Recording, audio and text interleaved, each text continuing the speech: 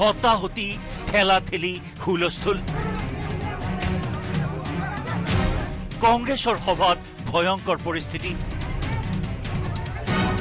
বঙহন যুঁজত টচ নচ গোৱালপাৰা কংগ্ৰেছ কাৰ্যালয় গোৱালপাৰা পূব সমষ্টিৰ বিধায়ক এ কে ৰছিদ আলম বনাম গোৱালপাৰা পশ্চিম সমষ্টিৰ ৰছিদ মণ্ডলৰ সমৰ্থক।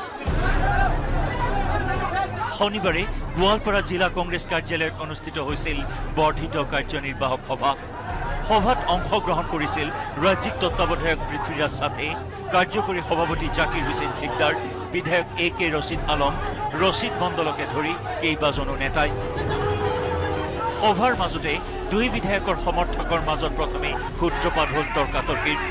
তাৰ পাছতে দুয়োপক্ষৰ মাজত সৃষ্টি হ'ল হতাহতিৰ। আৰু এটা সময়ত ৰণক্ষেত্ৰত পৰিণত হ'ল জিলা কংগ্ৰেছৰ কাৰ্যালয়টো। টেবুলত উঠিও উত্তেজিত কংগ্ৰেছ কৰ্মীক শান্ত কৰিব নোৱাৰিলে কাৰ্যকৰী সভাপতি জাকিৰ হুছেইন চিকদাৰে। মজিয়াতে পৰি ৰল সম্বৰ্ধনা জনোৱা গামোচা। উত্তেজিত কংগ্ৰেছ সমৰ্থকে ভাঙি চুৰমাৰ কৰিলে কাৰ্যালয়টোৰ চকী আচবাবকে ধৰি অন্যান্য সামগ্ৰী। অৱশেষত আৰক্ষী আৰু নিৰাপত্তাৰক্ষীয়ে ঘটনাস্থলীত উপস্থিত হৈ নিয়ন্ত্ৰণ কৰিবলগীয়া হ'ল পৰিস্থিতি। খোদ শীৰ্ষ নেতৃত্বৰ উপস্থিতিত সংঘটিত এই ঘটনাই ব্যাপক প্ৰতিক্ৰিয়াৰ সৃষ্টি কৰিছে কংগ্ৰেছত। গোৱালপাৰাৰ পৰা ৰিংকু দাসৰ report news eighteen Assam north east.